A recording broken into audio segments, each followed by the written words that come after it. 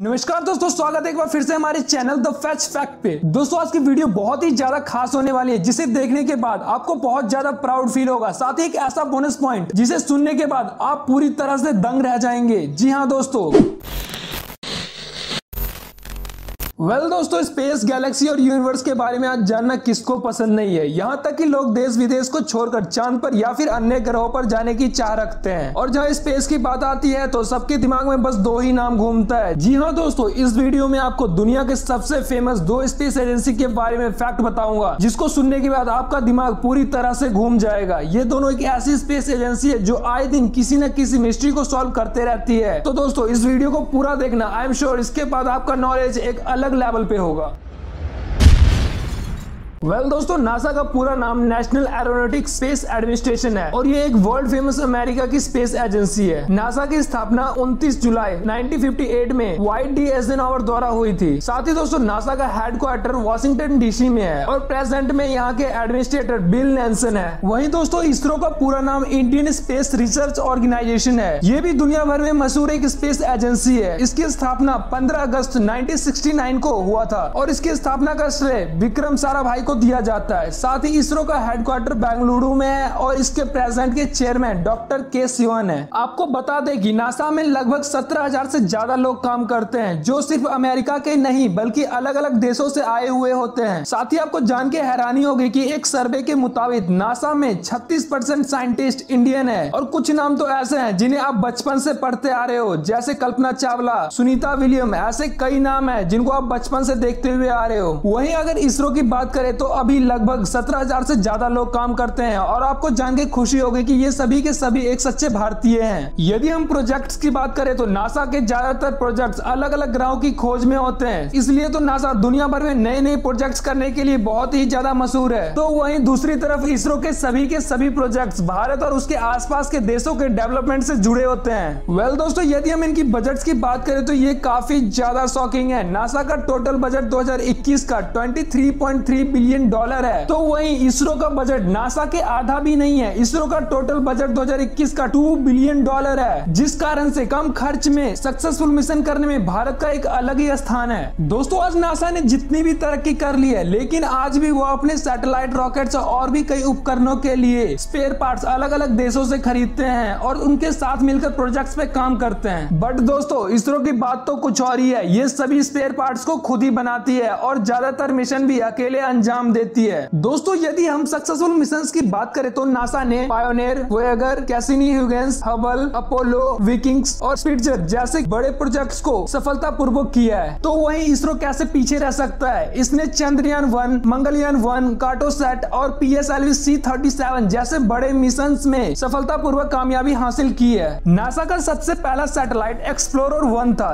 जो कि thirty first January nineteen में लॉन्च किया गया था। वहीं इसरो की सबसे पहली सैटेलाइट आर्यभट्ट था जो कि 19 अप्रैल 1975 को सोवियत यूनियन की मदद से लॉन्च किया गया था। वेल well, दोस्तों अगर हम नासा की सक्सेसफुल मून मिशन की बात करें तो 13 सितंबर 1959 में लॉन्च किया गया लूना 2 था। वो भी एक सोवियत यूनियन की मदद से लॉन्च किया गया स्पेसक्राफ्ट था। और साथ ही आपको बता दू नासा ने ही सबसे पहले इंसानों को मून पर भेजा था जो की ट्वेंटी जुलाई नाइनटीन को नील आर्मस्ट्रॉन्ग गए थे। ये दुनिया का सबसे पहला और सक्सेसफुल मून मिशन में से एक था जिसे अपोलो इलेवन नाम दिया गया था। उसके बाद तो नासा ने वहाँ अपना घर ही बना लिया, जैसे लगातार छह बार गई है चाँद पर हूँ। और साथ ही दोस्तों, आपको ये भी जानना चाहिए, चाँद पर सबसे ज़्यादा कचरा फैलाने वाला देश भी यही है। यदि हम इसरो की मून मिशन की बात करें तो इसरो का सफल मून मिशन चंद्रयान वन था, जो की बाईस अक्टूबर टू में लॉन्च किया गया था। और जैसा की आपको पता है, भारत इतिहास रचने में सबसे आगे है, जिस कारण से पहली बार में ही भारत को बहुत बड़ी सफलता मिली। इतना ही नहीं, चंद्रयान एक पहला मून मिशन था, जिसने मून पर पानी की खोज की थी और ये पूरे विश्व के लिए बहुत बड़ी बात थी। दोस्तों मून मिशन के बाद आती है मार्स पर जाने की बारी। यदि हम मार्स मिशन की बात करें तो नासा ने फिफ्थ नवंबर 1964 को अपनी पहली मार्स सैटेलाइट मराइनर थ्री भेजी थी, जो कि सक्सेसफुल नहीं रहा था। इसके बाद फिर उन्होंने 14 जुलाई 1965 को मराइनर फोर भेजा, जो की दुनिया में सबसे पहला सक्सेसफुल मार्स मिशन था। लेकिन फिर भी मराइनर नाइन मार्स के ऑर्बिट में जाने वाला पहला सैटेलाइट बना। उसके बाद भी नासा ने Mars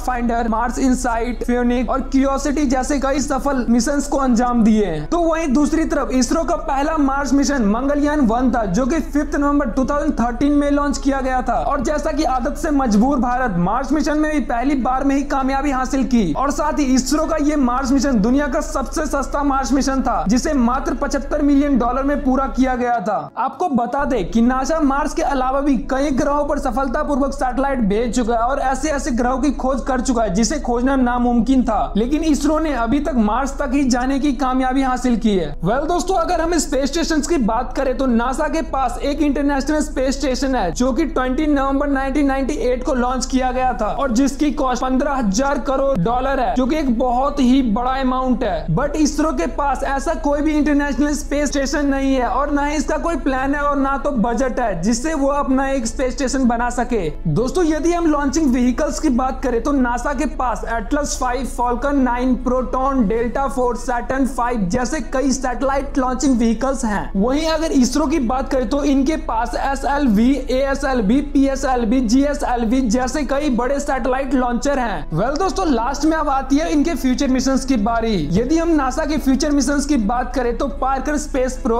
और रैक्स यूरोपा क्लिपर और ड्रैगन फ्लाई जैसे मिशन को अंजाम देने की सोच रहे हैं। तो वही इसरो भी Chandrayaan three Mangalyaan two Aditya L one और शुक्रयान वन जैसे कई बड़े मिशन को अंजाम देने की सोच रहे हैं। साथ ही R L V T D scramjet engine T D जैसे कई लॉन्चिंग व्हीकल्स भी लाने की सोच रहे हैं। इतना ही नहीं, आने वाले टाइम में दोस्तों इंसानों को भी मून पे भेजने का सोच रही है। तो दोस्तों एट द एंड अब बारी है हमारी बोनस पॉइंट की। दोस्तों, हमारे भारत ने फिफ्टीन फरवरी टू को दुनिया का सबसे बड़ा इतिहास रच दिया था। इसरो ने P S L V C thirty seven spacecraft की मदद से 104 सैटेलाइट को सक्सेसफुल लॉन्च करके पूरी दुनिया को हिला डाला था। और ऐसा होता भी क्यों ना? क्योंकि इससे पहले के रिकॉर्ड 37 सैटेलाइट का, जो कि रशिया के पास था। साथ ही दोस्तों 104 सैटेलाइट को एक बार में अलग अलग पाथ पर लॉन्च करना पूरी दुनिया के लिए एक बहुत बड़ी चुनौती थी। लेकिन फिर भी भारत ने उन चुनौतियों का सामना करके एक नया इतिहास रच दिया। साथ ही इसरो दुनिया का सबसे पहला स्पेस एजेंसी है, जिसने सभी मिशन को पहली बार में सफलता पूर्वक किया है। सो दोस्तों, अगर आपने यहाँ तक वीडियो देखा है तो आई एम श्योर की आपको प्राउड फील ज़रूर हो रहा होगा। तो कॉमेंट में जय हिंद ज़रूर लिखना। चैनल पे नए हो तो वीडियो को लाइक करके चैनल ज़रूर सब्सक्राइब कर लेना ऐसी और भी फैक्ट रिलेटेड वीडियो देखने के लिए। मैं मिलता हूँ आपसे एक नई वीडियो में। तब तक के लिए बाय बाय टेक केयर जय हिंद, वंदे मातरम।